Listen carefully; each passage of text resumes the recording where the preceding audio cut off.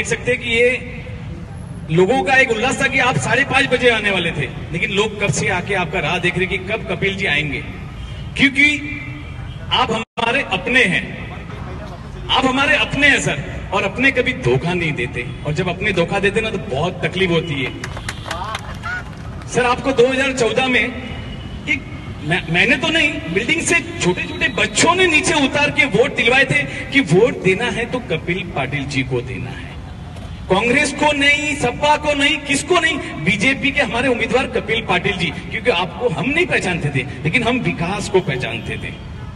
एक हमें उम्मीद थी कि कपिल जी आएँगे और हमें ऐसा विकास कराएँगे कि आज भिवंडी शहर जो एरिया है यहाँ पे, वो उससे कई गुना ऊपर चला जाएगा। लेकिन आज की हालत देख के, बदतर हालत देख के कि जो शहर डेवलपमेंट था, एशिया में नंबर वन था, लुम नगरी के हिसाब से, आज उससे भी कहीं गाँव की तरफ़ चला गया। मेरी एक बहन बोली कि आदिवासी हो जाएँगे। मुझे भी यही लग रहा है कि आदिवासी हो जाएँगे।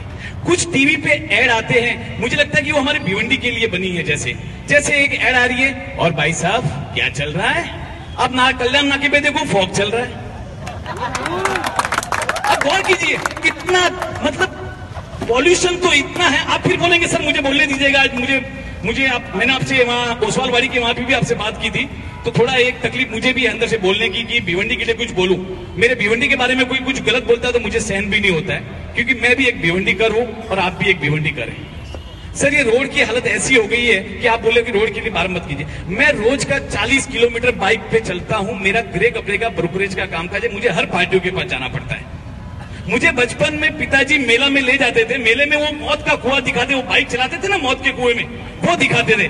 आज सर, वो सब हो गया कि आज मैं खुद मौत के कुएँ में चल रहा हूँ। सर, आप कहते हैं कि आप साठ साल से ये सब आ जा रहा है और अभी आप बोल रहे हो, क्योंकि आपसे उम्मीद है, आप हमारे अपने हैं और अपनों से गिला किया जाता है। आप बोले कॉर्पोरेशन वाले को नहीं बुलाया, उनको नहीं, उनका काम है। आप हर बात में मुझे कॉर्पोरेशन पे आप दे रहे हैं। नहीं सर आपने वहाँ से निधि पास कराई, बारह करोड़ आया, तीन सौ करोड़ आया। सर, गया कहाँ? अगर कोई पक्का कोई कोई बाप अपने बेटे को कुछ सौ रुपया भी देता है तो उसका हिसाब पूछता है सर। मेरी बात सुनो। नहीं सर मुझे और बोलने दीजिए। नहीं। सर नहीं गलत नहीं है सर गलत नहीं है दो मिनट। कपिल जी कपिल जी आज बोलने का मौका मिला है। आज बोलने का।